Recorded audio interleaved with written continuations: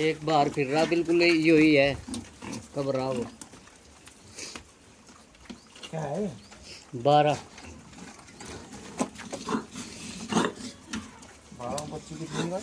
आठ बच्चे भाई चार बच्चे